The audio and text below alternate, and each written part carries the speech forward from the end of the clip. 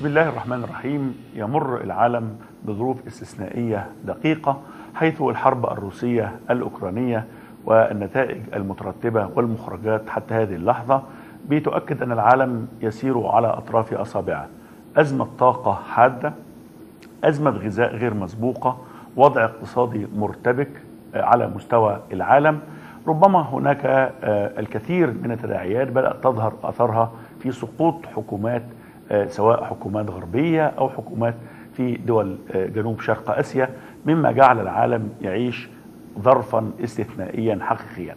وفي المنطقة العربية ربما كان الإقليم ليس أسعد حظا من باقي الأقاليم في العالم. لذلك جاءت القمة العربية الأمريكية والتي تستضيفها المملكة العربية السعودية فرصة لالتقاط الأنفاس وإعادة ترتيب الأوضاع سواء في الإقليم أو إعادة التموضع والتمركز للمنطقة في ظل هذا الوضع المرتبك. ربما كان من الضروري أن نلتقط البوصلة ونفهم ما يجري ونفكك هذه الإشكاليات ونرسم ربما خارطة طريق للتعامل والتعاطي مع هذه الأزمات المتلاحقة والمتداخلة والتي تمثل كل منها سببا ونتيجة لما يجري في الساحة العالمية. ضيفي في هذه الحلقة بيمثل بوصلة حقيقية نهتدي بها وسط هذه الكتل الضبابية الموجودة وحتى نخرج بسياق مفهوم نستطيع أن نقدمه للمشاهد وللقارئ أيضا وللنخب وللرأي العام العربي. يجب أن يكون هناك قراءة دقيقة لذلك كان لقائي مع الأستاذ عماد الدين أديب. أستاذ عماد أهلا بحضرتك شاهد أنا سعيد أكون موجود مع حضرتك وأهلا بجمهورك الكريم. كل سنة وحضرتك طيب. أنت طيب. يعني خلينا أقول لحضرتك أنه لا حديث في المنطقة العربية والإقليم إلا عن القمة الأمريكية العربية المنعقدة في المملكة العربية السعودية ودول مجلس التعاون الخليجي مصر والأردن والعراق. تركيبة وتشكيلة المشتركين ربما لها دلالة. الدلالة الأولى لهذه الدول المشتركة أو المشاركة في تقديرك إيه؟ بدل ما أقول لحضرتك انطباعات وأنا اللي أوصفهم نقول الواقع بيقول إيه؟ حينما يدخل الرئيس الأمريكي بايدن قاعة المجتمعين معه في هذه القاعة يمثلون الآتي. يمثلون 45% من تعداد سكان العالم العربي اللي هم في حقيقة الأمر القوى الفاعلة الأساسية فوق تلتين من سكان الدول اللي مجتمع معاه التسع دول دول هم أصلا بيعبروا عن تركيبة ديموغرافية شابة شباب وشابات. رقم الصناديق الاستثمارية اللي عندهم الصناديق السيادية يلامس الاثنين تريليون مجموع. فيهم عدة دول تمثل من 18 ل 20% من إنتاج أوبك بلس.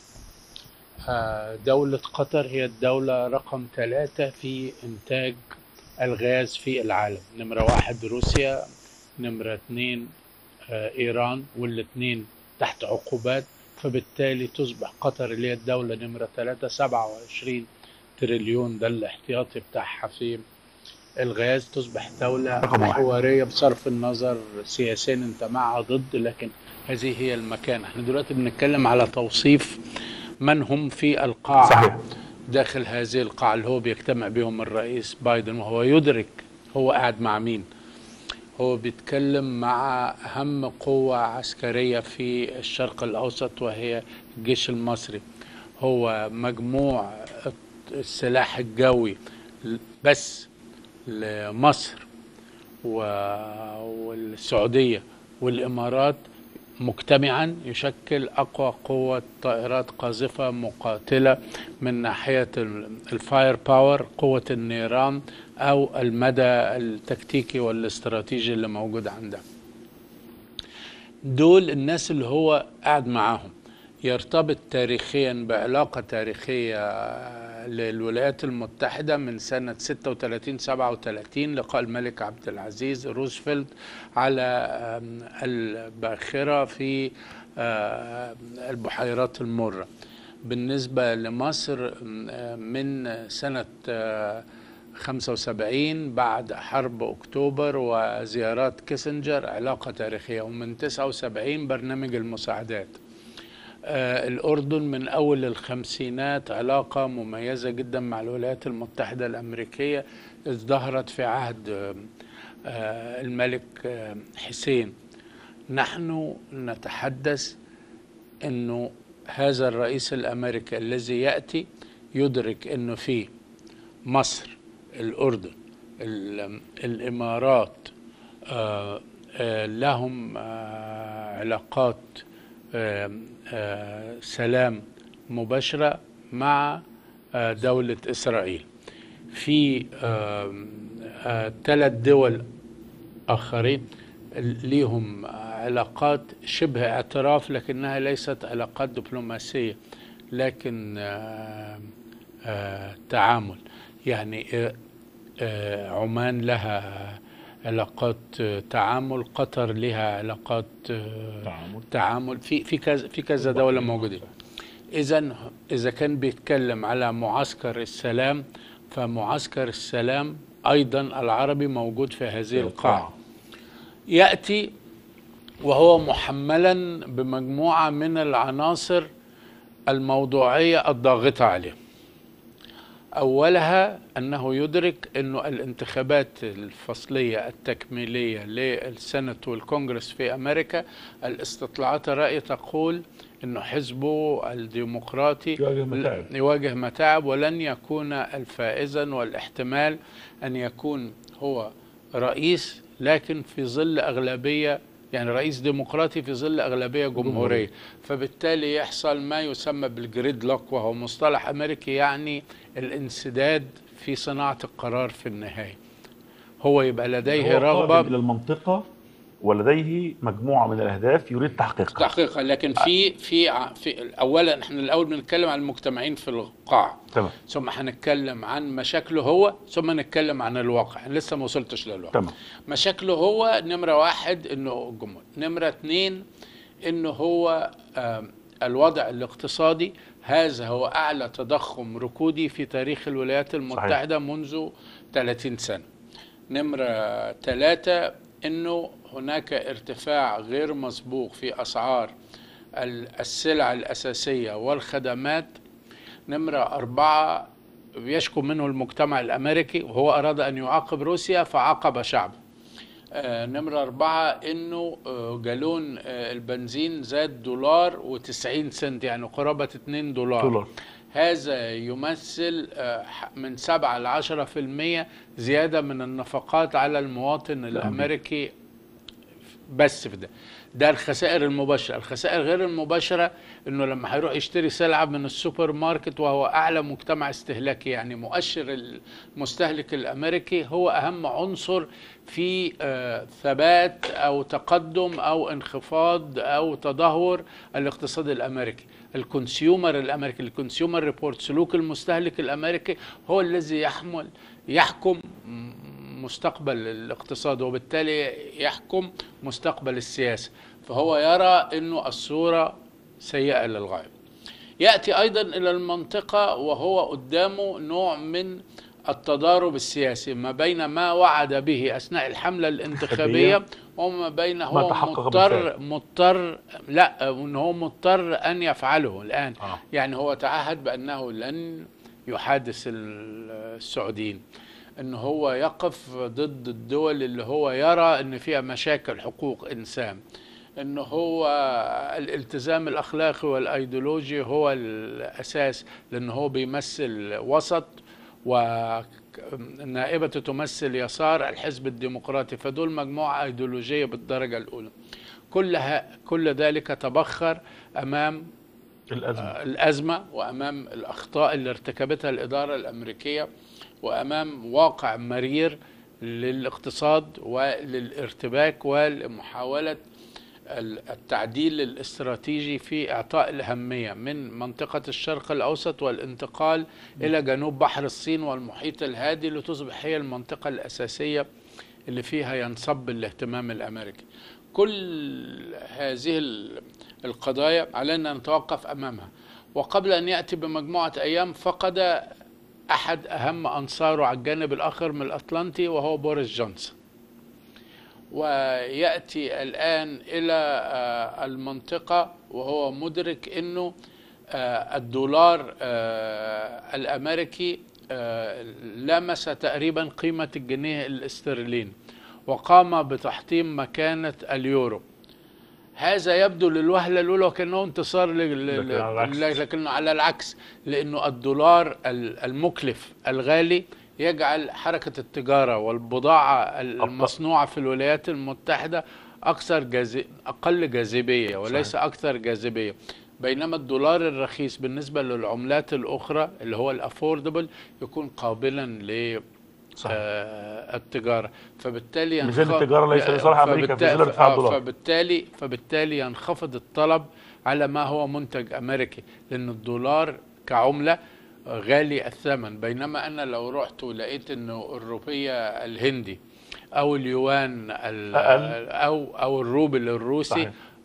more يبقى مغري أكتر للشراء. more affordable قابل للشراء ومغري أكتر فأنا أشتري بضاعة من هذه الدول فحتى الطبقة الأساسية اللي هي بتتحكم في آه، معايير مهمة جدا في أمريكا وهي طبقة المصدرين والمستوردين في أمريكا أو المصنعين.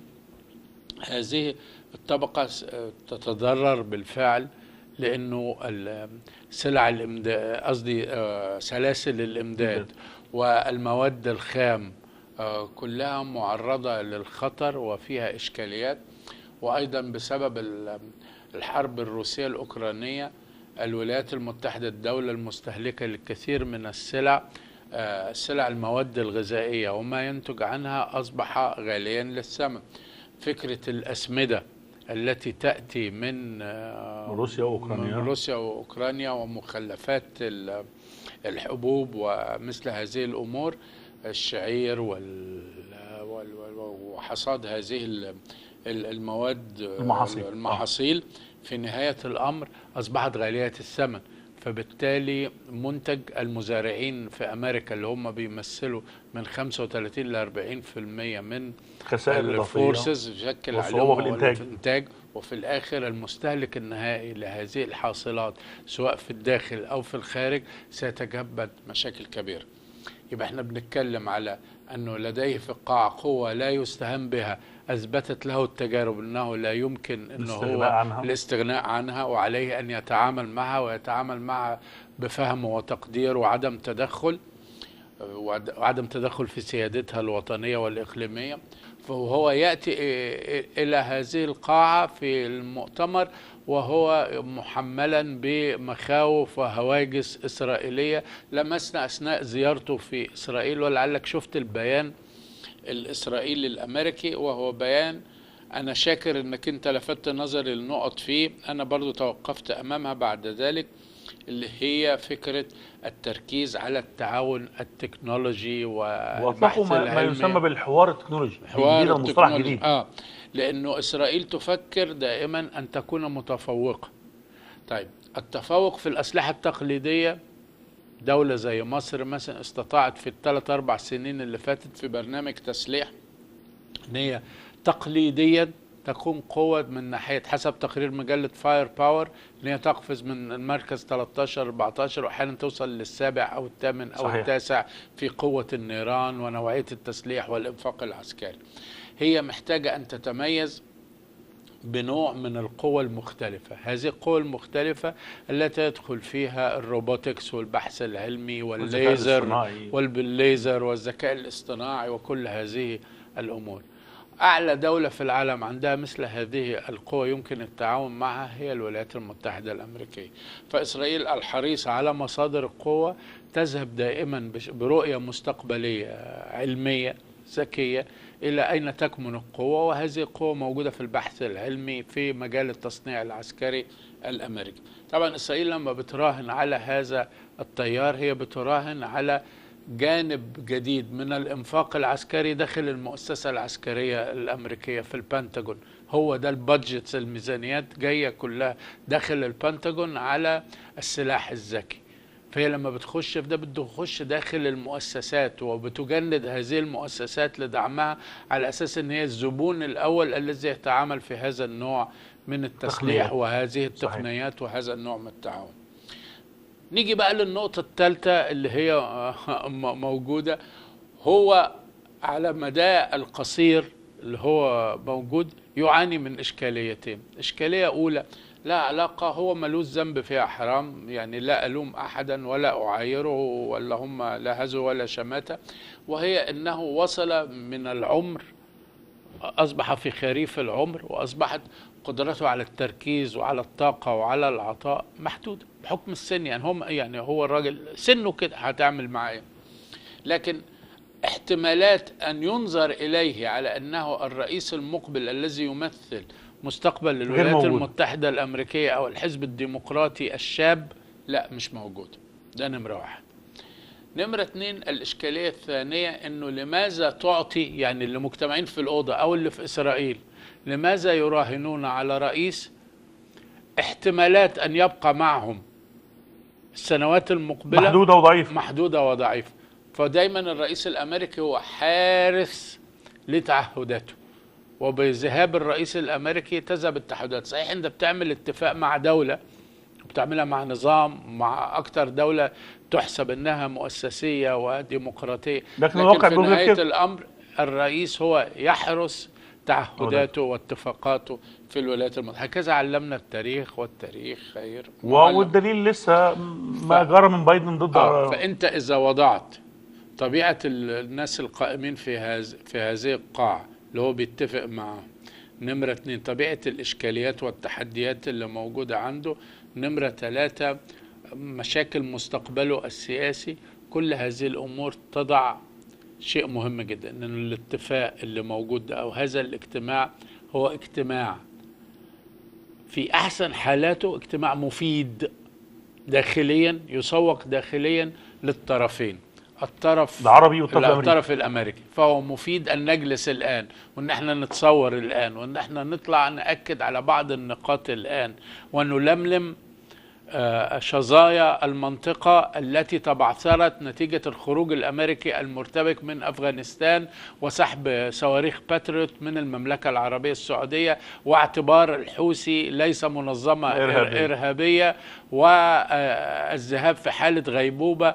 من آه، مشروع الدولتين ال- فلسطين اسرائيل فلسطين الإسرائيلي. كل هذه العناصر عناصر سلبية تركت المنطقة في حالة ارتباك.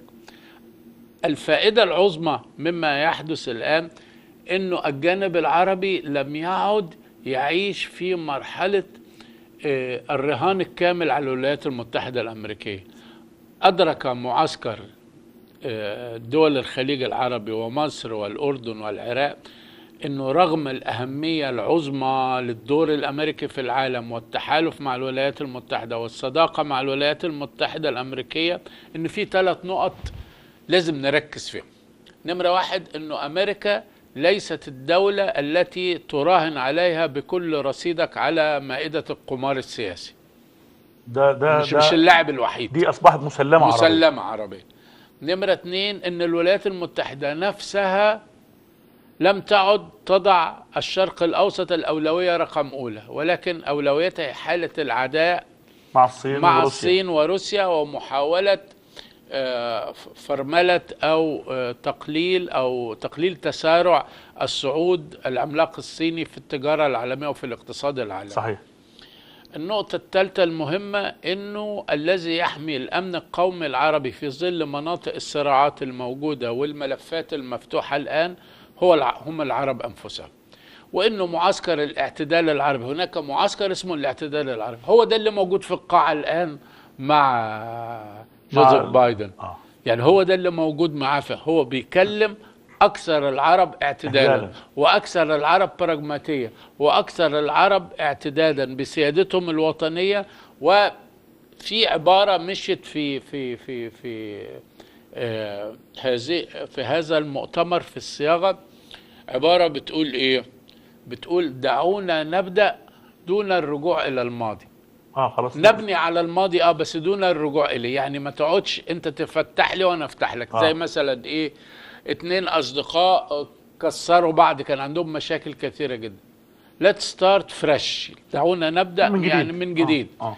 وأنت بقى ما تقعدش تقول لي أنت سحبت الباتريوت والتاني يرد عليه يقول له وأنت عندك مشاكل حقوق إنسان وأنت عملت أنت يوم كذا قلت لي وأنت قابلتني وأنت ما قابلتنيش وأنت ساعدت خصمي وأنت ما ساعدتش خصمي وأنت راهنت على ترامب لا أنا ما ما في اللي فات. آه عايز تتعاون في واقع موجود إن إحنا بن أهم شيء الآن في العالم عندك هو الاقتصاد والاقتصاد يتأثر بالدرجة الأولى بالطاقة اللي هي تؤثر على الخدمات وحجم الإنتاج وأسعار السلع الأساسية وسلاسل الإمداد. الطاقة نحن اللاعب الأساسي في معسكر الطاقة سواء إذا كانت غاز أو أو ب... أو نفط. آه، الطاقة أيضا عليها أن تنتقل وعشان تنتقل يجب أن تنتقل من ممرات استراتيجية آمنة. أهمها في المنطقة السويس. قناة السويس.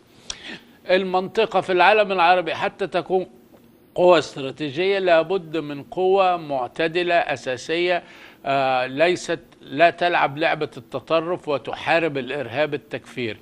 في ده يقود هذا المعسكر مصر بتحارب الإرهاب التكفيري السعودية الإمارات. الأردن وطيارات داخل العراق أيضا فكل ه... كل هذا الأمر عليك أن تنتبه له. وهذه المحادثات بتدور إيه المتوقع أن إحنا في الآخر نخرج به من هذا الاتفاق هي اتفاقات مفيدة لكنها لن تقوم لن تقدم حلولا استراتيجية طويلة الأمد ليس بسبب الطرف العربي ولكن بسبب أن الطرف الأمريكي غير مأمون الجانب قيادته غير مضمونة ولا يستطيع أن يحمي. تعهداته. ولا يستطيع أن يحمي. تعهداته آه. وبناء على هذه الرؤية اللي فيها هشاشة الموقف اللي هي بتسمى state of uncertainty حالة من عدم التيقن ودي أصعب حالة لصانع أي سياسة في العالم ليه؟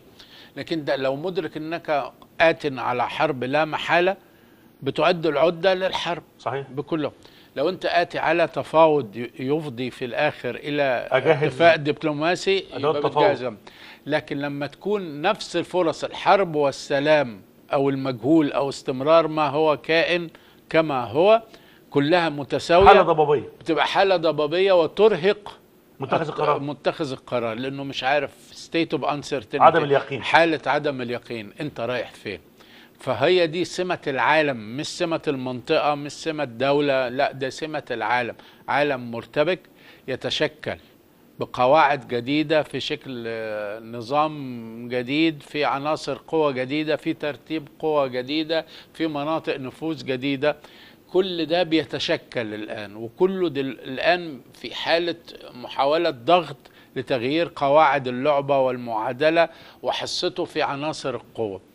هذا الأمر لسه ما استك- ما استكملش. في هذا الوقت تعمل إيه؟ ممكن ياخد له سنتين ثلاثة الموضوع خمسة ممكن يطول. ممكن يطول. في هذا الوقت ارتأت دول المنطقة وبحكمة شديدة جدا وتحديدا فخامة الرئيس السيسي وسموه الشيخ محمد بن زايد وسموه الشيخ آه، محمد بن سلمان إنه نحن ننأى بأنفسنا استراتيجيا عن الدخول في محاور نحن مص- مصلحة هذه الدول المصلحة الوطنية لهذه الدول إن هي تتعامل مع كل الكتل إن هي تقف على الحياد إن هي تحاول أن تكون منصة حوار وتفاهم وليست منصة مواجهة. تأجيج صراع ما بين روسيا وأوكرانيا آه، أيضا لا يجب إن إحنا ندفع ثمن حرب. إحنا لا ناقة لا- لنا وجمل فيها. فيها لسنا طرفا فيها. إحنا ملناش أي مصلحة استراتيجية بل لدينا خسائر. خسائر استراتيجية فيها وندفع فاتورة باهظة الثمن السبب فيها هو التحريض الأمريكي والتوتر الروسي. الاثنين داخلين في حالة صراع مع بعض. هم دول الكبار مع بعض لكن إحنا بندفع فاتورة أكتر من قدرتنا على التحمل.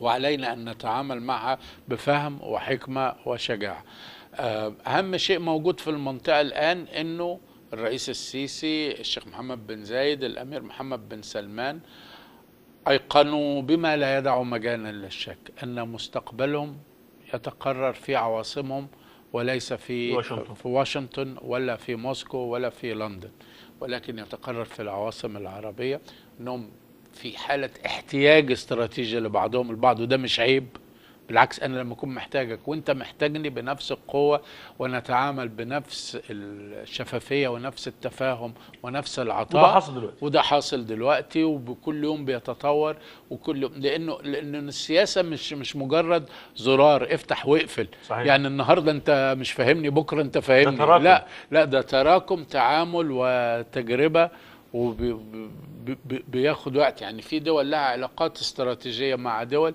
حتى الآن بتحاول أن تكيف نفسها على المتغيرات وعلى التطورات وعلى الأحداث اللي هي تمام. موجودة. طيب أستاذ عماد خليني آه، أروح سريعا إلى كل دولة موجودة في ال- القاعة آه، مصر السعودية الإمارات. آم، في قواسم مشتركة وفي آه، حد أدنى استراتيجي متفق عليه إنه السيادة الوطنية إن قراراتنا بتخرج من عواصمنا إن إحنا في حاجة إلى بعضنا البعض إننا لن نعطي شيخا على بياض لأي إدارة أمريكية سواء جمهوريين أو ديمقراطيين لسنا طرفا في أي أحلاف سواء روسية آه، صينية أو أمريكية أو وإحنا غيرها. أصدقاء مش تابعين. وإحنا أصدقاء لا- ولا مش تابعين. مش تابعين. مش تابعين. إحنا ما آه. بنشتغلش عندكم. إحنا مش عملاء. ترفع عليا السماعة تقول لي روح بكرة حارب ليبيا. هذا طلب طلب من الرئيس السيسي من كيري في بداية حكم. قال له أنا شايف إن أنتوا أحسن حل ليكوا تنقذوا اقتصادكم إن أنت تخش تحارب ليبيا. ونفس هذا الطلب طلب من طلبه الأدميرال ستانفيلد تيرنر رئيس ال CIA للرئيس مبارك. واستمع إلى رد واحد من الاثنين رد الدولة المصرية. رد الدولة المصرية ورد الجيش المصري ورد الوطنية المصرية. نحن لسنا عملاء ولا نريد أن يحسب علينا أن إحنا نطلق رصاص ولا على- وكلاء. على أشقائنا العرب ولما نريد أن إحنا نقوم بضربات تأديبية أو نريد أن إحنا ده يكون قرارنا مش مش قرار مش إملاءات أمريكية. مش قرار الولايات المتحدة مش أنا شايف أن مصلحتك تغزو ليبيا ومع الحفاظ على الصداقة والعلاقات أيوة. الاستراتيجية آه ال ال ال ال ال الكلام عشان بس ما بقاش بقول لك كلام عن تريات. الكلام ده تلاقيه في كتاب ال Veil اللي هو آه اللي كتبه آه بوب وودورد واتنشر من حوالي 20 سنة وفي فصل كامل عن لقاء س- ستانفيلد تيرنر مع الرئيس مبارك في بداية حكم الرئيس مبارك رحمه الله. الكلام الخاص ب جون كيري. الر- الر- جون كيري ده خرج من كيري نفسه في الولايات المتحدة بعد أن ترك الحكم. ففي نهاية الأمر نحن دول لدينا سيادة لما يجي الأمريكان يقول للطرف السعودي نريد كذا وكذا وكذا بالنسبة للعلاقات مع إسرائيل يرد عليه الطرف السعودي بشكل واضح جدا إحنا إذا في ممكن يكون سلام السعودية تكون آخر دولة تقوم بالسلام لأنه لا يمكن إن إحنا ن- تطبيع ندي- مجاني. ندي تطبيع مجاني خاصة إن إحنا دولة مليك البلاد فيها يسمى خادم الحرمين وأول القبلتين صحيح. هو القدس مختلف. والقدس يتم التعامل معه باستهانة وباستهتار وباعتداءات يومية من قبل المتطرفين اليهود في القدس الشريف وحتى الآن وضعية القدس لم تحزم تحسم. ففي نهاية الأمر لا تطلب مني إن أنا أديك آه، بصمة آه، اعتراف أو وثيقة بالدم تقول إن أنا موافق على ما تفعل مع الشعب الفلسطيني ومع المقدسات صحيح. الإسلامية. يعني وضعية السعودية ليست مثل أي دولة. يعني ممكن في بعض الدول يكون عندها حواجز سياسية أو حواجز أمنية. أهم حاجز موجود عند الطرف السعودي هو الحاجز الروحي الحاجز هو الأخطر. العقيدي وهو الأخطر آه. لأنه جزء من تركيبة الشرعية السعودية وهي لا تستطيع أن هي تغامر بهذا بشرعيتها. الموضوع بشرعيتها لأن هي قبل أن تخشى شعبها تخاف الله. صح. طيب. آه، مصر وهي موجودة في القاعة آم، عايزة تخرج بمكاسب. إيه المكاسب اللي ممكن مصر تخرج بيها؟ مصر في نهاية الأمر كان أهم عنصر أنه إدارة بايدن الديمقراطية اللي هي باراك أوباما part 2 الجزء الثاني. أيوة. عارف زي مسلسلات؟ آه. الجزء آه، الثاني اللي- اللي يبقى مسلسل آه اللي هو Fast and Fury رقم واحد ثم اثنين ثم ثلاثة ثم أربعة. لا هو آه، جو بايدن هو أوباما نمرة اتنين بس على صورة آه، آه، تشيخ وليست شابة وأقل ذكاء يعني أنت لما تبص للصراع ما بين بايدن وبين بوتين بوتين هو طبعة عبقرية ومنقحة وذكية ومتطورة من آه، ستالين? ذكية طبعة عصرية وبايدن هو طبعة سيئة آه، شاخت من من أوباما. من أوباما فهذا هو الصراع بين الاثنين اللاعبين دول. طبعة قديمة وطبعة جديدة لمثلين كل واحد مهم بالنسبة لبلده. كل هذه الترهات الأمريكية والحسابات الخاطئة والخطايا في التقييم و الحديث ال- ال- الدائم عن ما يسمى بالظبط. آه لأنه هناك مشروع أصيل لا علاقة له بالإدارة الجمهورية أو الديمقراطية اسمه الفوضى الخلاقة اللي هو كتاب الشهير بتاع كيف يمكن آه، تغير نظاما دون أن تطلق ه- ه- هذا الكتاب هو اللي بيدرسوا فيه جمعيات المجتمع المدني في صربيا وفي أمريكا وفي لندن لتنمية مجتمع مدني يقوم على الانقلاب على الحكم من آه، الشارع وإقامة آه، نظام على النسق الغربي بصرف النظر عن فكرة ال- الحكم الوطني أو السيادة الوطنية ل ولسه. من من كام يوم كان آه، بولتون بيتكلم على إنه هو نفسه أدار مجموعة انقلابات ولم يفصح عنها طبعاً، لكن طبعاً. مفهوم. آه فإحنا النهارده عندنا خطرين. عندنا خطر الإرهاب التكفيري وعندنا الليبرالية التكفيرية اللي هي في الجامعات في الجامعات الليبرالية اللي هي بتمول من الخارج. ده بيمول من الأولاني الإرهاب التكفيري يمول من منظمات ودول راعية للإرهاب إرهاب. والتطرف الديني والثاني يمول من أنظمة تدعي الديمقراطيه ولا الأولاني دين ولا الثاني ليبرالي. فالقضيه اللي هي كمان عشان أكون منصف إحنا علينا حتى نقيم حكما وطنيا أن آه، نع- نعيد الدين إلى صفائه. ونعيد الديمقراطية إلى حقيقتها ولا دون مزايدات. دون مزايدات. لا ودون استبداد يعني آه. ودون ارتكاب أخطاء مجانية نسلم بها رقابنا إلى هذا أو ذاك. هذا أو ذاك آه. إحنا علينا إن إحنا نقيم حكم عدل حكم إنصاف حكم آه، انفتاح حكم آه، إصلاحي حكم آه، ذكي فمصلحة مصر في هذا الصراع نمرة واحد هو الاعتراف الأمريكي بمشروع الدولة الوطنية المصرية عدم التدخل الأمريكي في الشأن المصري إدراك الولايات المتحدة الأمريكية أن مصر هي الدولة الأولى التي تكافح الإرهاب التكفيري سواء داخل أراضيها أو في سيناء أو في المنطقة. إدراك أن مصر هي القوى العسكرية الأساسية في منطقة الشرق الأوسط وشرق البحر المتوسط وأفريقيا وضرورة عدم التغافل الاستراتيجي عن دورها. طيب خليني أسأل حضرتك سؤال آه، بيدور في الشارع العربي. هل هذه القمة من ضمن مخرجاتها المتوقعة أن تغير موازين القوى في الإقليم؟ إعادة توزيع الأدوار في الإقليم مرة لا أخرى؟ ده دور أكبر من إن المؤتمر ده. هو أقصى حاجة بيفكروا فيها في في في, في المؤتمر وهذه رغبة أمريكية هي فكرة آه تلاقي ال- ال- ال- البيان الأمريكي اللي طلع في في- من خلال آه رسالة بايدن اللي نشرت في الواشنطن بوست الأمريكية. يتحدث عن ليس expand وهو توسيع السلام ولكن deepen تعميق, تعميق. السلام. إيه الفرق بينهم لا توسيع السلام يعني دخول أطراف أخرى جديدة. ديبن إنه ال ال القوى القائمة الحالية تعمق من مش عايز أقول لك تورطها ولكن تدخلها أو انغماسها أو تعاونها في السلام العربي الإسرائيلي. في آه. فرق بين expanding أيوه. وديبنينج توسيع وتعميق. آه فهو إحنا شغالين في تعميق دلوقتي. آه هم المطلب الأمريكي آه واقعي. آه. هتلاحظ إن الأمريكان في حاجات كتيره جدا يعني مش هي... مش هيكلمك على حقوق الإنسان كتير. مش هيجي لك على نقط مشاكل كانت ثنائية مع الدول.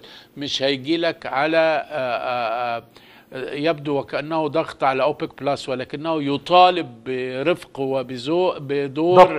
دور دور مسؤول والتزام لتوفير الطاقة الآمنة بأسعار مقبولة بتخدم المنتجين والمستهلكين سواء بسواء كل هذه هي المطالب الأمريكية لكن أكثر حاجة هو بيفكر فيها إنه يا سيدي شوف لي مسارات الطيران المدني. شوف لي مسارات التعاون البحري ال logistics اللي هي تخلي ممكن الطرفين العربي والإسرائيلي حتى لو هما الاثنين مش قاعدين في خندق واحد أو عندهم غرفة عمليات واحدة على الأقل لديهم بالضرورة حكم آه، عدو مشترك.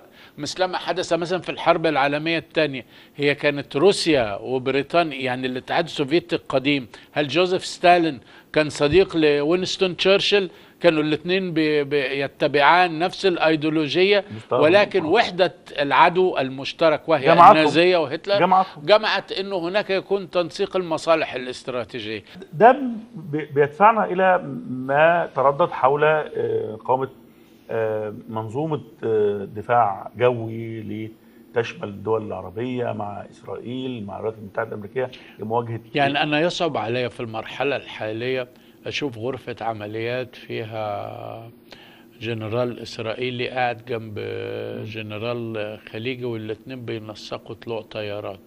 لكن أقدر أشوف آم، غرفة عمليات أمريكية تنسق مع العديد من الأطراف لإجراءات حمائية أو إجراءات استراتيجية أو عمليات آه، محدودة أو طلعات استطلاع أو عمليات حراسة بحرية أو تنسيق. أو تنسيق لأن الطرف الرئيسي اللي هو على علاقة بالجميع هو الولايات. المتحدة الأمريكية وتواجدها اللوجستي سواء بالقطع البحرية في البحر المتوسط أو البحر الأحمر أو القواعد الثابتة الموجودة لها في المنطقة من أول العيديد إلى الإمارات كل ذلك يخلق لها وضعية تستطيع فيها أن تقوم بدور المنسق العام للتعاون الاستراتيجي للحماية وليس للدخول في في مواجهات مع أستاذ عماد يعني خلال الأسبوع القادم سيكون هناك قمة آه، روسية إيرانية تركية في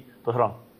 هل بيمثل هذا في تقديرك حتى من في إطار الشكل العام ردا على ال- المؤتمر آه، الأمريكي العربي هو كان؟ هو هو كان يبقى رد لو ده بيحدث لأول مرة. لكن التنسيق الدوري بين الدول الثلاثة دول وكان منبعه الأول الوضع في سوريا والوضع في المنطقة موجود بقاله ثلاث أربع سنين. يعني الاجتماعات في سوتشي وفي إسطنبول ليس و... له علاقة بال- لا هو دايما دوري. لكن عبقرية سيرجي لافروف وهو الكاهن الأكبر في الكريملين صناعة السياسة الروسية. وعبقري السياسة الروسية هي اختيار التوقيت. للإيحاء بما أقول. بالظبط كده. إحنا بنتحرك في المنطقة وفي نفس الوقت نسق مع الرئيس أردوغان الذي اتصل هنا في دول الخليج وأبلغهم. إحنا لسه أهو بنحسن العلاقات مع بعض وإحنا هذا الاجتماع لا علاقة له بأي عداء آه، موجود. وإحنا وجودنا داخل هذه القاعة في الاجتماعات مع الروسي ومع الإيراني يضمن لكم ان مش هيكون في أي عمل عدائي تجاهكم. تاجر لعيب. شوف قول اللي تقوله على رجب طيب أردوغان. وأنا أصلا يعني من أكتر الناس اللي عندي كان مشاكل لأنه كان له مواقف ضد بلادي بعد ثورة صحيح. آه، 30 يونيو 2013 و- يعني موقفي واضح وكتبته بعشرات المقالات. لكن لابد أن أعترف أنه لاعب ماهر ويف يعني هو الشخص المناسب الشخص المناسب. في فكرة مطاطية ال- المبادئ. المواقف. يعني والمواقف يقدر ينقل في أي حاجة. يعني في حد يقول لك والله لا أنا ما أقدرش أتنازل عن مبادئي السابقة. تاريخي لا يسمح لي أن أعود وأرتد. لا ده مبادئ مرنه ده أين تكمن المصلحة؟ هتلاقيه موجود. على طول يقلب. وده سياسيا مش عيب. آه، ده بص لعبة السياسة يعني اللي هو اللي مسك المصحف من الخلفاء الراشدين في آم، آه، الدولة العباسية على ما أعتقد ومسك المصحف وحطه على راسه. ساعة لما قالوا له أنت هتبقى خليفة مسك المصحف وحطه على راسه وباسه. قال له أما أنت يخاطب المصحف فهذا فراق بيني وبينك لأنني أصبحت حاكما. يعني فكرة الرؤية الانتهازية الغير مبدئية.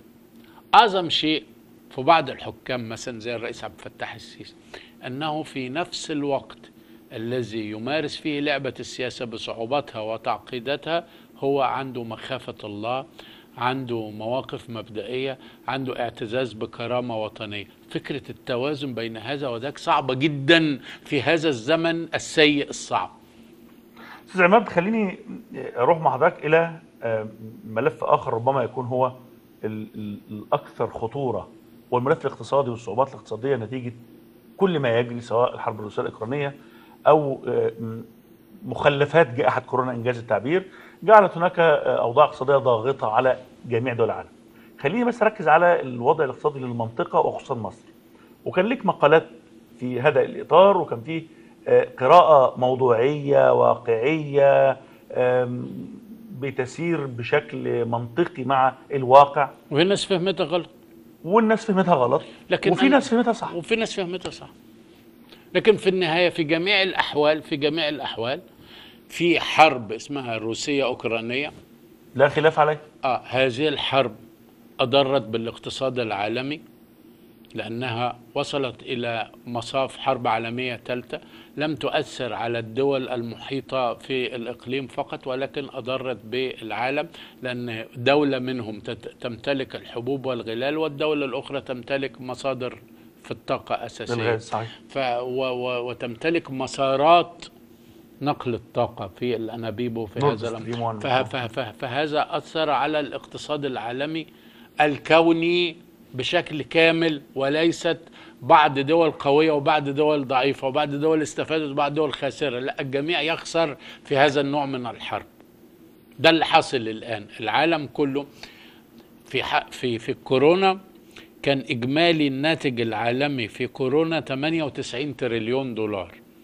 آه، 2021 ده فقد منها 28 تريليون يعني فقد حوالي التلت من من الناتج ال- العالمي. آه آه آه، من الناتج العالمي. الآن حرب الروسية الأوكرانية تتعدى خسائرها المباشرة التريليون دولار. الغير مباشرة ما حدش لسه عارف لم يحسب- بعد. يح- يحسبها. فأنت في الآن تتحدث عن خسارة استراتيجية. يندر أن تحدث مرة كل 100 سنة. حصلت في ثلاث سنين مرتين وما زالت مستمرة.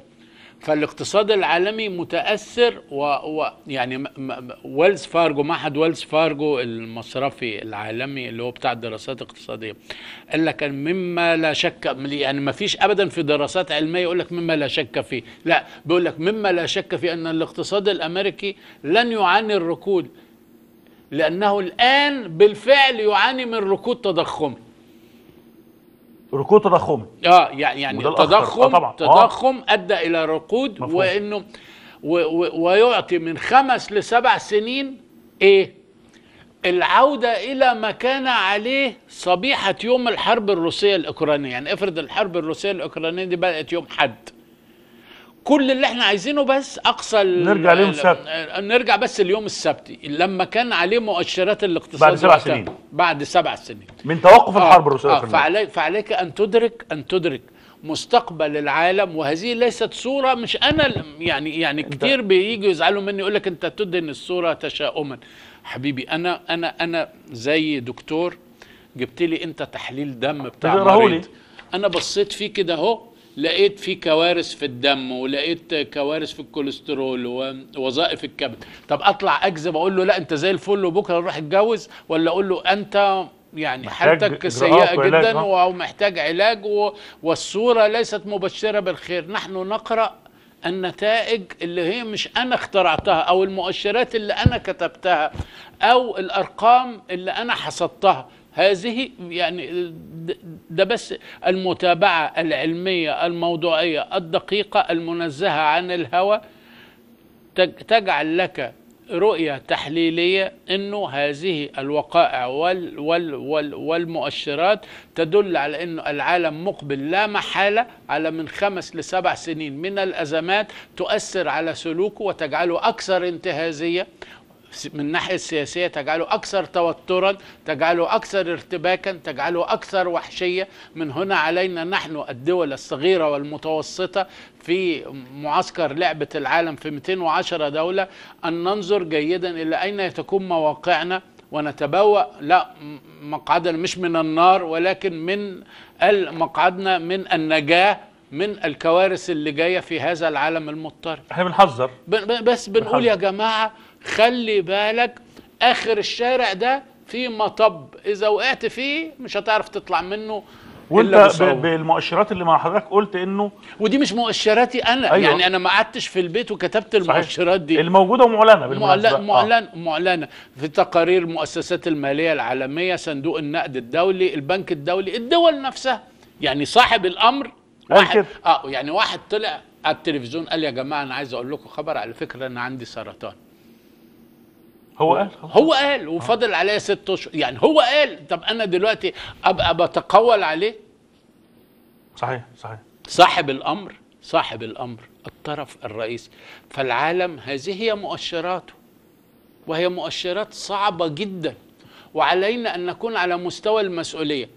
أخطر شيء بقى ألا نصطاد في الماء العكر. أيوه. يعني أنت مثلا إيه؟ يبقى أنا عندي بيت في منطقة شعبية. كويس؟ والبيت كويس وكل حاجة. قام زلزال قوي جدا. وقع البيت. اقعد أ- أ- تهاجمني. مش أنا اللي عملت الزلزال أنا مش أنا اللي عملت الزلزال. طب تيجي تهاجمني لأن أنا جالي كورونا وتغيبت عن العمل أسبوعين. أنا جالي كورونا. طب يعني هذا عذر قهري. force majeure بيسموه بالفرنسية force majeure صحيح. major forces يعني أج... حصل تسونامي. الأوتيلات اللي اتبنت في آه، الساحل الإندونيسي وبعدين قامت تسونامي. وغطتهم. هل ده معناه ان أصحاب الأوتيلات دول فاشلين؟ قامت أزمة. الشركات اللي هي فلست وقت الثورة في مصر. عندنا شركات. الشركات دي اتأثرت صناعة ال business صناعة ال- السياحة صناعة ال entertainment الترفيه كل الكلام ده كله. وقف. لأنه كان في حظر تجول فالناس ما بتنزلش. صحيح. فمقدم الخدمة غير خسر. قادم على تقديمها لأن الزبون ما بيجيش. فبالتالي ما فيش شغل ما فيش بيزنس هل ده معناه إنك أنت إنسان سيء أو مدير فاشل؟ فنتوقف عن الاصطياد في الماء العكر بالظبط. علينا إن إحنا لما نيجي نحلل نعرف حجم مسؤولية النسبية لمدير الأزمة. ففي الحالة المصرية هل أخطأت الحكومة المصرية؟ هل الرئيس السيسي عمل مشروعات غلط؟ لا والله ما حصلش كده. الراجل جاله كورونا كان قبل كورونا معدلات التنمية بتاعته بمؤشرات صندوق الدولي صندوق النقد الدولي وإلا ما كانش يقرضك. لو أنت. performance بتاعك سيء يبقى غير قابل كنت داخل على 6% آه غير غير غير غير قابل على إنك أنت تقرض. لما يكون عندك مكانة اقتصادية وأدائك وبتدفع تعهداتك في المواعيد وبتدفع آه، مواعيد السكوك والسندات والديون عندي ائتمانية. و- ومرتباتك بتدفع وحاجتك كلها ماشية مظبوط خلاص يبقى عندك ملاء. في الحالة دي جت كورونا مش هو اللي عمل. الحرب الروسية الأوكرانية مش هو اللي عمل. استيقظنا ذات الصباح لقينا خسائر مباشرة على الأقل. مباشرة مش غير مباشرة. غير مباشرة دي لسه ما اتحسبتش. 25 مليار. 25 مليار. دولار. على الاقتصاد المصري تساوي أك- فاتورة. آه تساوي أكتر من تلت الموازنة المصرية. فجأة بقى زادت عندك نفقاتك التلت هتجيبها منين لا تستطيع لا يستطيع الاقتصاد المصري أن يتحمل. أن يتحمل وحده دون سواه من موارده الذاتية وفي ظل مشروعاته التمواني تنموية. التنمويه وفي ظل آه، مشروع حياة كريمة وفي ظل والحماية احتياج الاجتماعية. الحماية الاجتماعية وفي ظل 65 مليون بطاقة تموين وفي ظل حلم المصريين بحياة أفضل ها وفي في ظل خدمة الدين وفي ظل تعهداته الدولية بسداد فوائد الدين وكل هذه الأمور أن يفعل ذلك وعليه 25 مليار كمان دولار أمريكي. ما يقدرش لوحده فكانت صرخة إن إحنا ننتبه. الرئيس قال على مشروع حياة كريمة قال إحنا حاط- حاطين تقديرات مبدئية 600 مليار دول جنيه.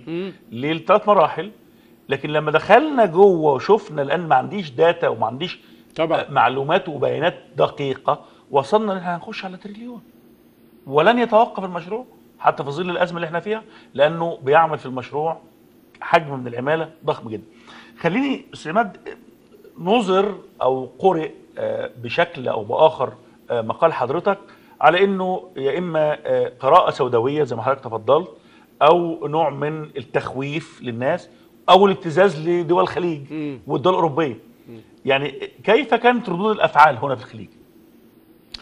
هنا في الخليج اللي, اللي فهم صح تحرك سريعا وزي ديك شفت طبعا وهم دي مش تأثرا بمقالي لا لا والله هم أصلا علاقتهم بمصر علاقات استراتيجية وفيهم نخوة وشهامة والرئيس قال قال من غير ما نطلب. من ما ساعدونا الإخوان والرئيس عنده فكرة الكرامة الوطنية دي مهمة يعني هو لا يرفع السماع ولا يطلب من أحد ففي نهاية الأمر جاء سمو الأمير محمد بن سلمان بزيارة كريمة 30 مليار دولار استثمارات آه، 7 مليار دولار اتفاقات آه، اتعملت تعهدات بالطاقة بشكل ما آه، دولة الإمارات كانت قبليها عاملة آه، اتفاقات شراء أسهم وحصص. في واستثمارات في شركات دولة قطر جه اسمه الأمير تميم وأعطى الضوء الأخضر لكل المصارف ال- ورجال الأعمال القطريين وأيضا الصندوق السيادي القطري للاستثمار بالتعاون الكامل مع كل الاحتياجات الاستثمارية أو التمويلية للمشاريع المصرية. الدنيا بتتحرك هو ده, ده, ده, ده موجود. فاللي فهم صح فهم إنه بالإضافة لحاجة هو الناس لما بتقرأ مقال زي ده بتسأل هو مين اللي كتب المقال. أنا أنا أنا عندي إقامة في المملكة العربية السعودية من سنة 1979 عمر مقيم عمر. مقيم. آه. وحتى أزيدك منهم 27 سنة كان كفالتي تصدر عن إمارة الرياض وكان كفيلي صاحب السمو الملكي الأمير سلمان بن عبد العزيز. وكنت بعمل في جريدة الشرق الأوسط أو المؤسسة التي تصدر جريدة الشرق الأوسط اللي هي التابعة لجزء مهم جدا من الدولة السعودية. آه، موجود في دولة الإمارات من 27 سنة. عندي إقامة دائمة في دولة الإمارات. شغلي ومصالحي انسى بقى إن أنا صاحب مبادئ وصاحب بتاع مصالحي موجودة في السعودية وفي الإمارات. هكتب مقال آه، أرتجي فيه إن أنا أسيء للإمارات أو السعودية أو أبتزهم أو اعرض مصالح الخطر لا انسى انسى أي فكر مبادئ. ولا مبادئ ولا أي حاجة في الدنيا. يعني هل أنا مخبول وأنا في عمري ده بعد السنين الخبرة دي كلها؟ بتاع لا. أنا في نهاية الأمر مواطن أؤمن بدول الاعتدال العربي اللي فيها مصر السعودية الإمارات. هذا المثلث مهم للمحافظة عليه. كل ما أراه إنه ممكن يفيد هذا المعسكر معسكر الاعتدال العربي الذي يحارب الإرهاب التكفيري ليحافظ على فكرة السيادة الوطنية الذي يعمل بدون شعارات عنترية ويسعى إلى الاعتدال والتسامح والتعاون من خلال الحوار ومن خلال تصفير المشاكل ومن أجل إطفاء الصراعات ومواجهة دول التطرف والجنون الهستيري اللي موجود في المنطقة كل ما يدعم ذلك أنا أقف معاه. ولو شفت في يوم ما أعتقد أنه خطر وأنا لا أمتلك ناصية الصواب وممكن أكون خطر إن أنا شايف أنه ممكن خطر. بأنبه له. وده في الآخر ده اجتهاد. فهناك من يمكن أن يصوبني من الدول الثلاثة دول وفيهم ناس بتفكر زي أو أحسن مني وسيادي في التفكير يقدروا يقولوا لي أنت غلطان لكن الأحداث في النهاية الأحداث هي اللي بتعرف. نفسها. أنت طلعت قلت والله في خطر الناس اتحركت ثبت إن هو ممكن إطفاء الخطر بالطريقة اللي أنت الصرخة اللي أنت صرختها. وهي ساعدونا لاننا بنواجه وضع استثنائي ملناش دخل فيه. وده اللي عملوه الإخوة العرب وده شيء أنا بحييه وسعيد جدا بيه. وأنا بكلمك دلوقتي وأنا قاعد معاك فين؟ في جدة. وامبارح كنت بتكلم فين؟ في سكاي نيوز عربيه اللي هي في دولة الأم. في نهاية الأمر لو, لو في شيء أنا عامله غلط كان يبقى وضعي موجود في مكان صحيح. آخر. ولو أنا المقال ده كاتبه ضد الدولة المصرية لسه راجع الأسبوع اللي فات من مصر. مع يعني ومحدش رفع عليا السماعه من الدولة وقال لي أنت غلط. ففي نهاية الأمر كل ما يعني هناك فارق ما بين المتخيل أو المتمنى من حد إن هو يعمل لك اغتيال معنوي أو يسيء إليك وما بين إنك أنت آه، بتقول ممكن شيء حد ب- يكون بيفكر يعمل اغتيال معنوي دايما دايما هتلاقي في ناس عندها تفكير مريض واخد بالك لكن أنا عندي حالة جميلة جدا اكتسبتها على مر السنين وهي فكرة إنه يعني قل كلمتك وامشي يعني ما ما, ما تقفش وتقعد تبص مين بيقول إيه. وأمضي. وأمضي خلاص أنا أنا في, في نهاية الأمر عندي قارئ رئيسي وهو ضميري اللي هو ينبع منين؟ من مخافة الله. لأن أنا رأيي أن في النهاية كلنا ضيوف مؤقتين في الدنيا دي. هنيجي نقف في النهاية أمام مليك مقتدر بيحاسب الناس. هيجي يقول لك ماذا فعلت بعلمك أو مالك أو فكرك أو بولدك. أو خبرتك أو الكلام ده كله؟ قول له والله يا يا أيتها الذات العليا أنا في الآخر كان قدامي رؤية كذا حسب أكبر قدر من اجتهادي ويمكن أكون أنا مخطئ أنا بضميري شفت كذا.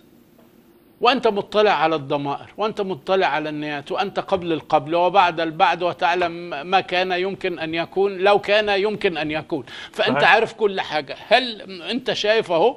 أنا كان جوايا إيه؟ أنا شفت والله العظيم في خطر جاي فبقول للناس الحقوا يا جماعة في خطر. دي رؤيتي. عبرت عنه بما أعرف من معلومات. ممكن تكون ضعيفة ممكن تكون قوية ممكن تكون صحيحة ممكن تكون خاطئة. هذا اجتهاد. يا جماعة فلنقبل الاجتهاد ولنقبل الجدل.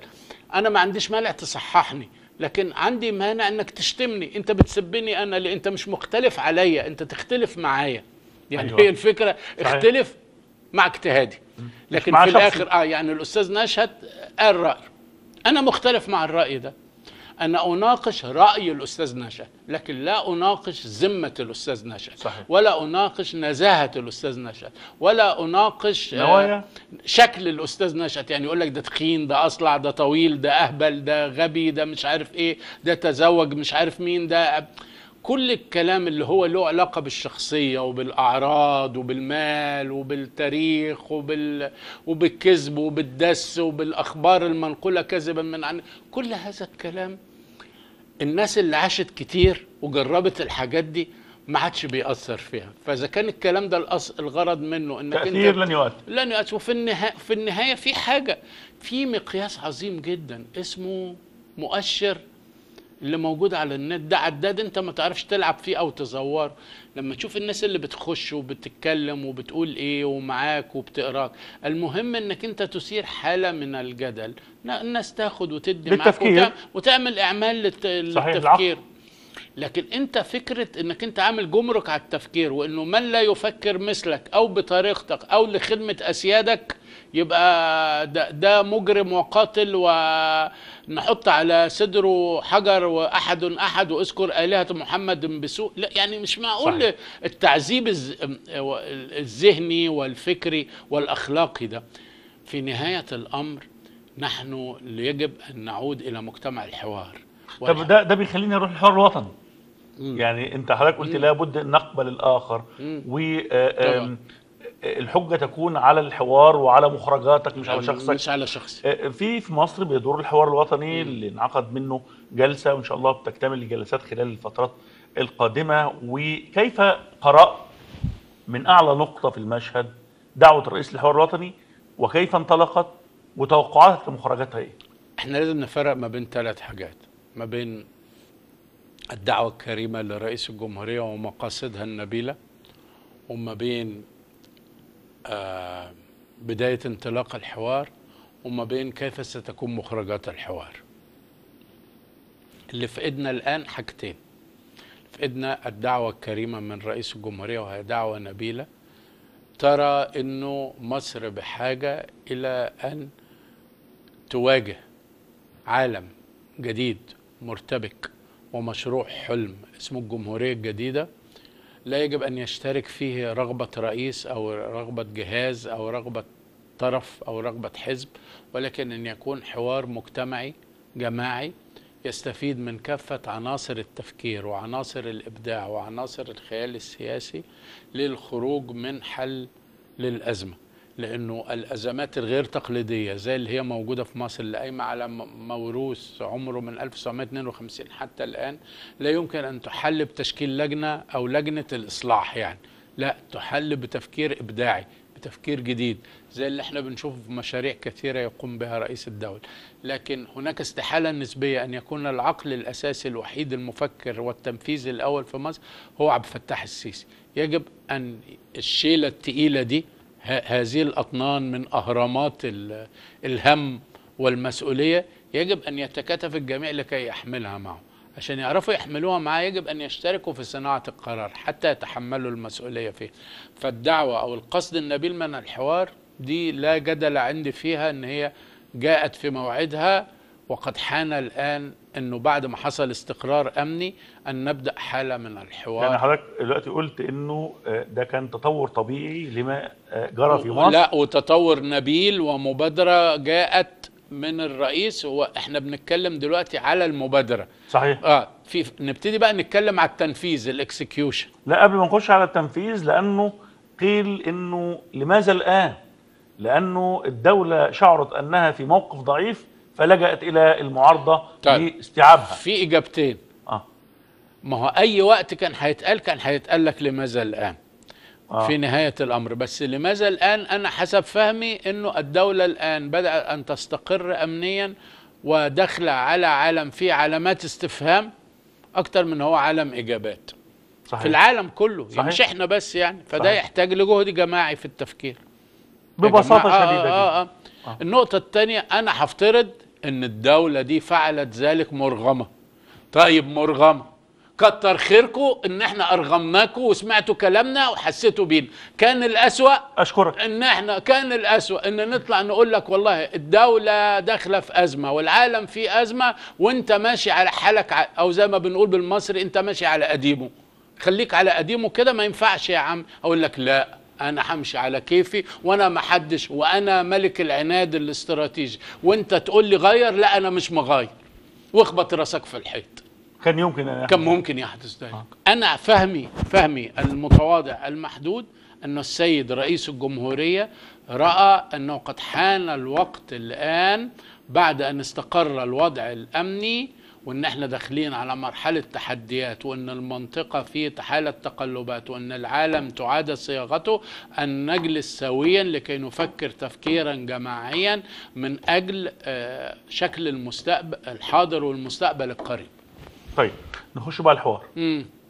الحوار كما آه، يعني حدث الآن ال- البوادر مشجعة الأولى العبارات التي استخدمها أنا بستخدم المفردات آه. ولا أستطيع أن أحكم النوايا آه الأستاذ ضياء رشوان أمين عام لجنة الحوار كلها عبارات مبشرة بخير كبير أن هناك انفتاح وأن هناك رغبة في العمل المؤسسي والعمل الجماعي والتحاور وأن هناك حسن قصد وحسن نية للتعامل مع الجميع وأن الحوار مع كل الأطراف ولكن من حرض ومن خطط ومن نفذ ومن على يده حسب قال لك عدا فصيل واحد فصيل. واحد وخلاص آه.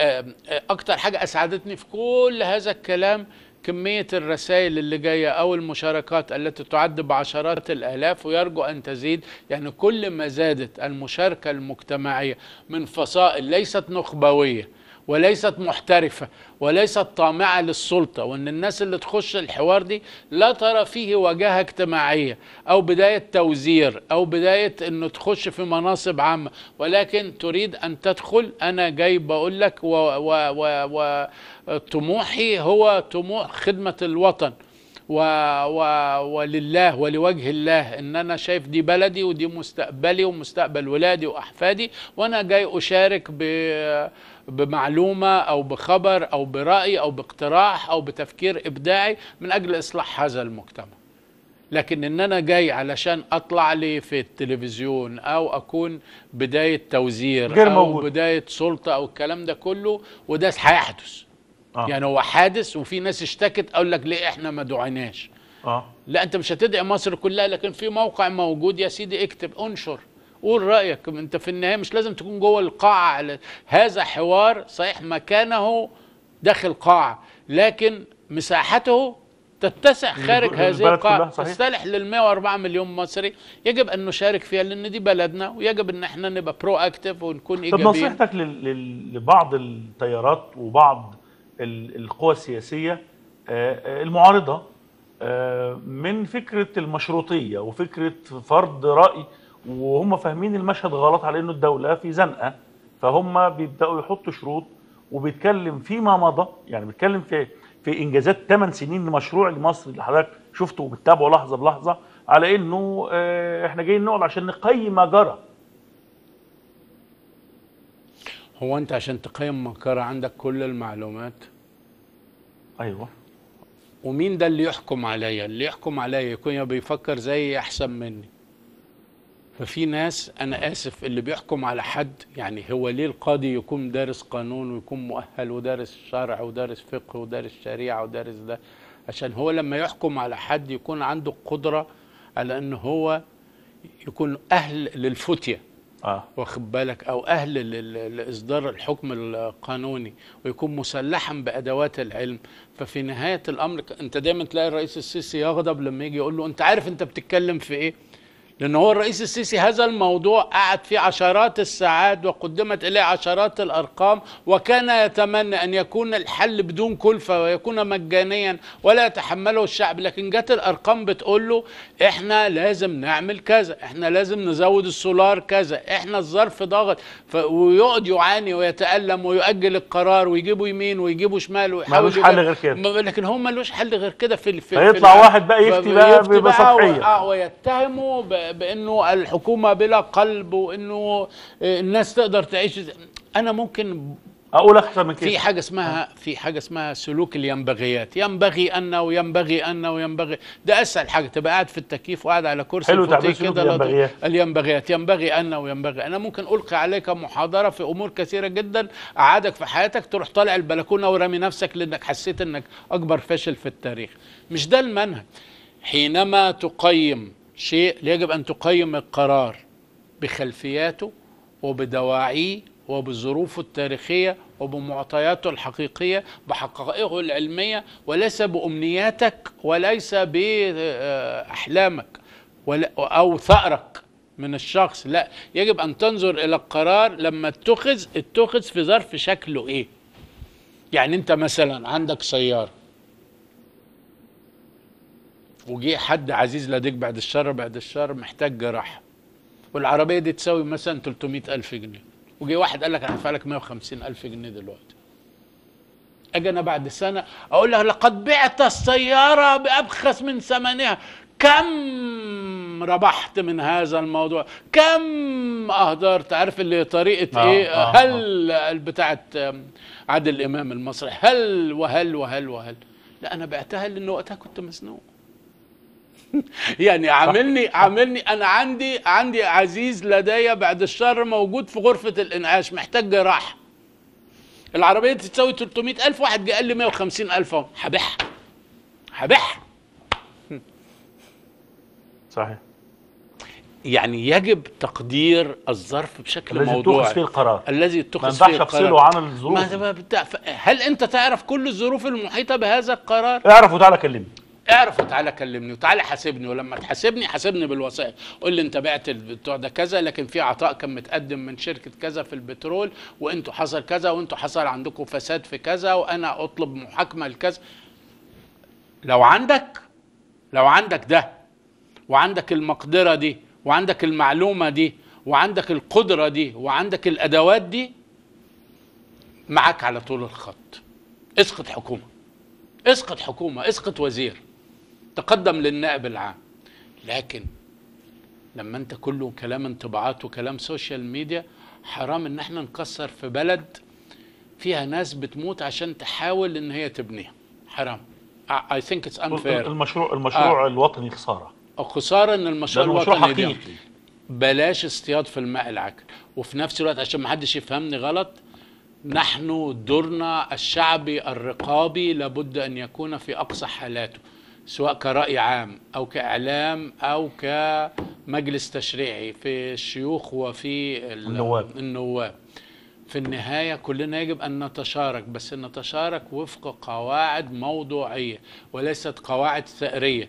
ويجب أن يكون صراعنا مع العدو الحقيقي وليس صراعنا مع أنفسنا.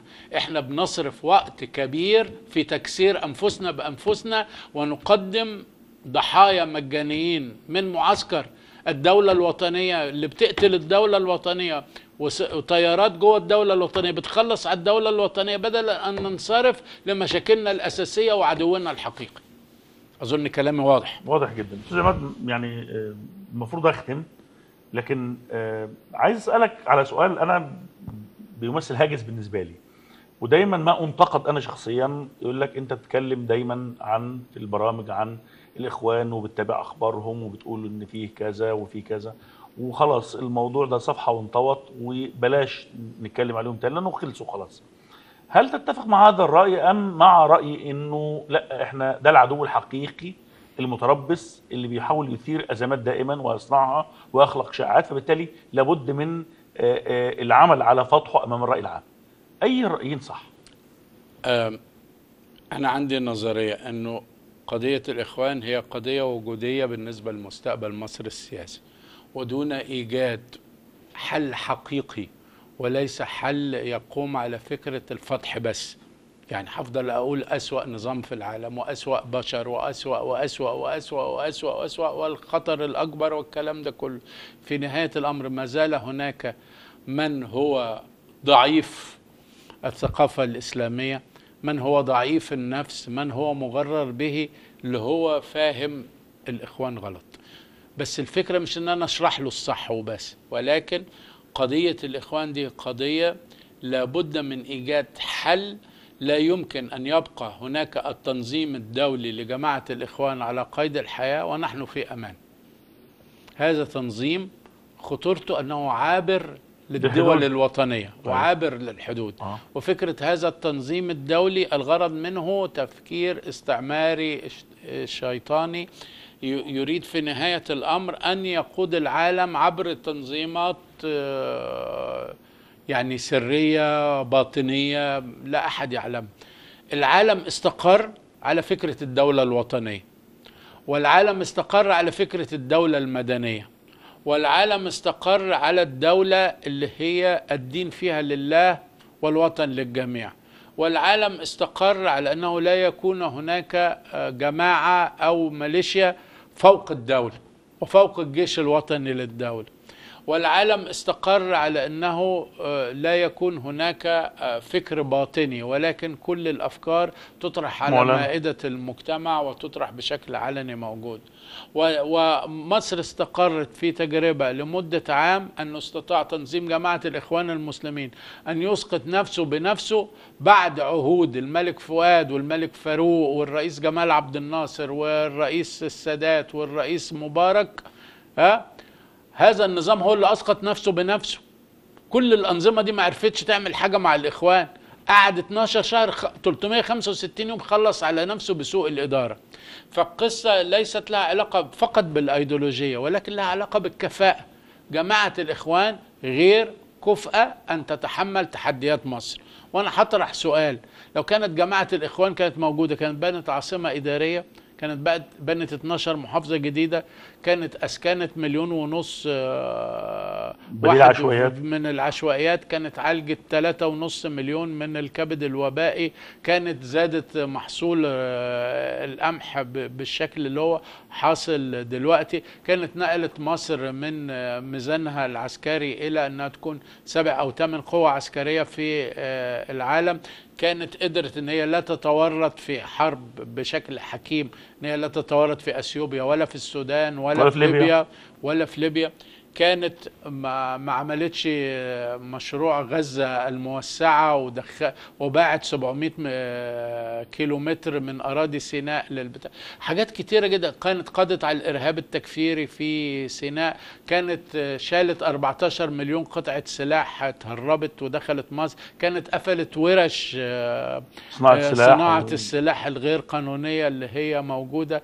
كانت أمنت الحدود كانت بنت أكبر أسطول موجود في المنطقة كانت نوعت الدولة الوحيدة اللي هي عندها السلاح. عندها طيران فرنسي أمريكي روسي صيني برازيلي يعمل في آن واحد في جهاز الخدمة للقوات الجوية آه، المسلحة المصرية في حاجات كتيرة جدا في النهاية كفاءة آه، جماعة الإخوان افرض يا سيدي هناك من هو آه، بلغت به يعني ال- ال- ال- ال- حالة الحماقة السياسية أن آمن مئة في المئة بأنه فكر جماعة الإخوان ده هو الأفضل والأعظم. طب من ناحية الكفاءة من ناحية الكفاءة كان هيدير إزاي؟ آه. فمن ناحية القصد إحنا ضد القصد. من ناحية الهدف النهائي إن إحنا ضد الهدف النهائي. من ناحية طريقة التكوين إحنا ضد التكوين. من ناحية التشكيل إحنا ضد مشكلة التشكيل التاريخي من ناحية الكفاءة إحنا جربنا صحيح. آه، الكفاءة ففي نهاية الأمر أعتقد أنه طول ما في شيء اسمه التنظيم الدولي لجماعة فنحن في خطر. المسلمين نحن في خطر بس يجب أن إحنا ننتقل من حالة مجرد تجريمه بالقول وبالفعل إلى طريقة للتعامل معه بشكل مش التصفية الجسدية لا التصفية الوجودية يعني يصبح هذا تنظيم هش لا معنى له زي ما استطاعت إنه جنوب أفريقيا إن هي. تخلى العنصرية زي ما رواندا بطلت الأهلية. الهوتو والتوتسي اللي هو أيوة، حرب آه، الأهلية. م- م- موجودة فيها زي ما ألمانيا عملت آه، إنهاء آه، النازية بعد هتلر في حاجات كتيرة جدا يجب أن يتم التعامل معها بشكل أكثر عمقا وأكثر فاعلية وأكثر ذكاء طيب آه، في سؤال المفروض سألته وما سألتوش يعني في حاجة كنت لا أنا منه؟ أشكرك. هو بس أرجو أن لو في أي إجابة أنا قلتها ممكن تكون قاصرة أو ما شرحتهاش أو أنا يعني انحرفت عنها. أنا جاهز أن أنا أصلحها. أنا بشكرك جدا أستاذ شكرا. شرفت بحضرتك جدا. ربنا يخليك. مشاهدينا الكرام دمتم في أمان الله.